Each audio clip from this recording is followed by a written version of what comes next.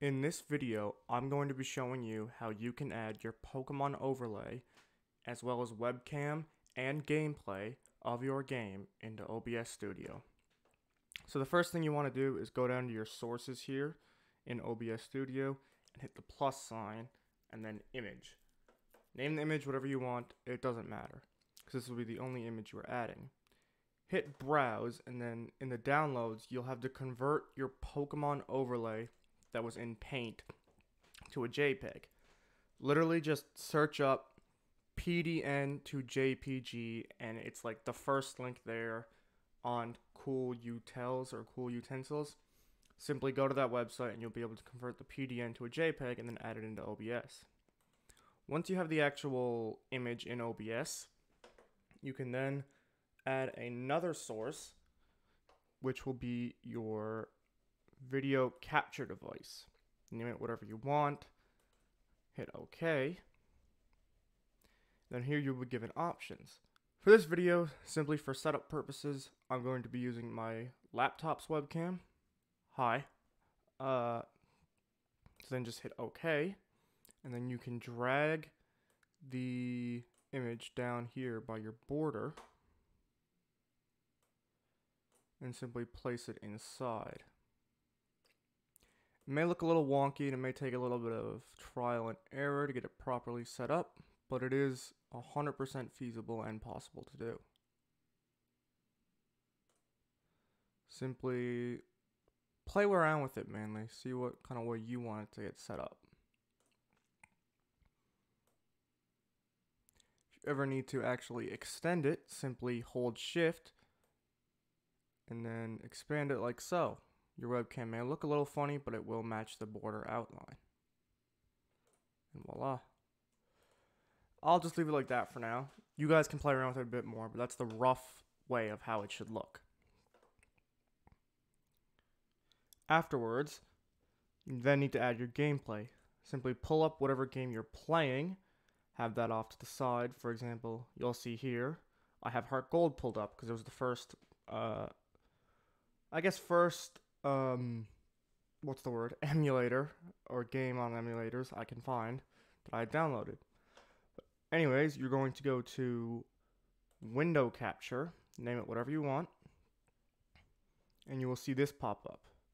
Simply hit OK, and then to adjust it, you can hold the Alt key, and it will you'll be able to control what place or gameplay you are capturing. Now this is assuming the reason why I'm not worrying about the bottom screen in this case is because this layout is mainly going to be for whatever game comes out next, aka it's going to be on the Switch, so there won't be a need for a bottom screen. So for the sake of this tutorial, I will just be showing you the top screen. Again, hold shift here, stretch it out, play around with it and you will have your gameplay section shown. You can match it up a bit better. Ooh. Play around again. Just, it, just play around with it. Try to get it to match up to the border, and you will be good to go, like so.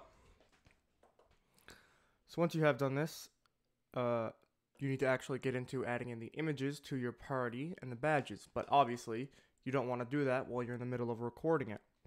So, what you then have to do is, for example, let's just say we were recording this part right here, just in a few second clip, and I will show you what I mean. So I quickly recorded this section here in OBS. I can then simply exit out and take me back into Streamlabs where I'm actually recording it.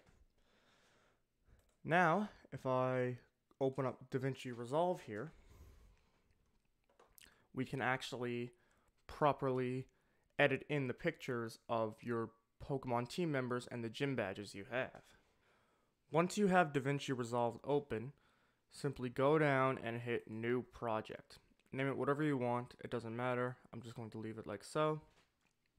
And it will open up into this section here. Once you're in DaVinci Resolve, go over to the Edit section here, or the first one on the right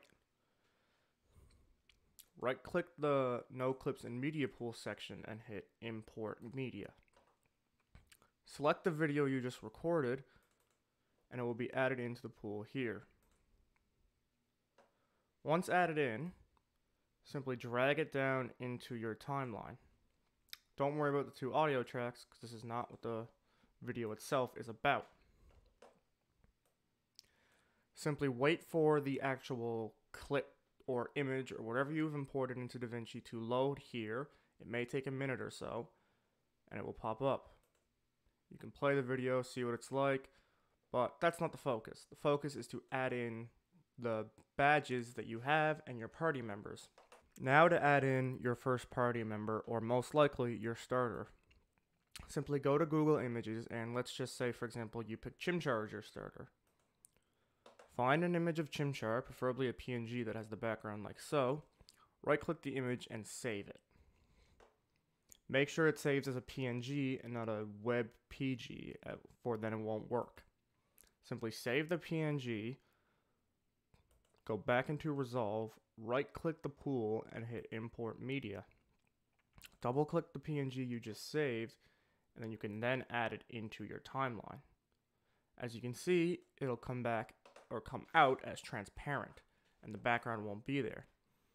But now we need to actually get that Pokemon into the party slot simply click on the actual image bar in your timeline and then hit the inspector button. Right here you'll see zoom and position. These are going to be our main sort of things to use for this. Adjusting the zoom for this will, as you can see, adjust the size.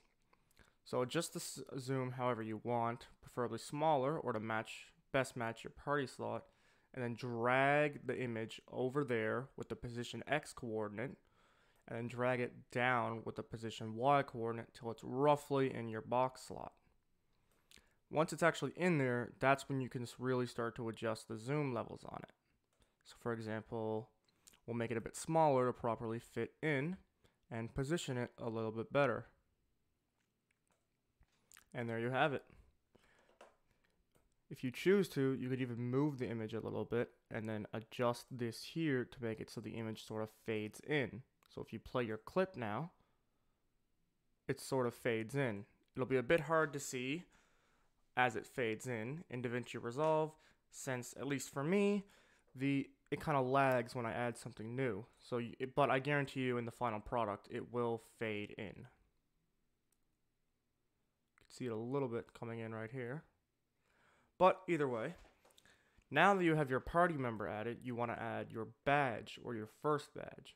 To do that, simply go back to Google Images, go to Google, make sure you're on Images, and for example, just say you want the beacon badge, for example. So you search beacon badge PNG. Like before, with Chimchar, you'll see this come up. Give it a second to load and you'll see it has the transparent background. Simply right click and save the image. Save it as whatever you want, it doesn't matter. Now, head back into DaVinci Resolve, right click the media pool and hit import media. Double click the badge that you just downloaded and like Chimchar, it will appear to have a black background, but it will actually be transparent. Now, again, just like Chimchar, go to Inspector, and you can change the zoom a bit here. Since the slots are really tiny, we're going to need to make the badge a bit smaller. Once in here, you can simply use the inspector to change its zoom and position, and that looks roughly okay. And fit it into the slot there. Do this with every party member you have and every badge you obtain.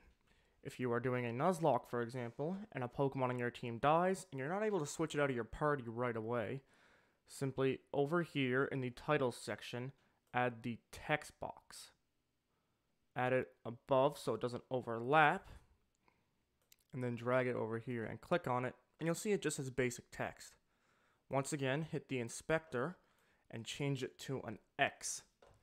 After that, go to the font family and scroll all the way up until you see Arial Black to make it a bit more prominent. Hit the color key and put it into the top right corner, sorry, top left corner to make it red, and hit the OK button. And there you have a red X. Now, like before, simply go down to positioning and you can sort of slide it over to be above a Pokemon that faints, for example, or in a Nuzlocke case, dies. So simply, if my Chimchar, if I lost that, I can simply put a red X over it to show that it died in a Nuzlocke, like so. That is going to be all for this tutorial. If this tutorial helped you out, please make sure to hit that subscribe button down below, and if you want to see the previous video where we created this Pokemon overlay, I'll put a link in the description for it. Thank you so much for watching.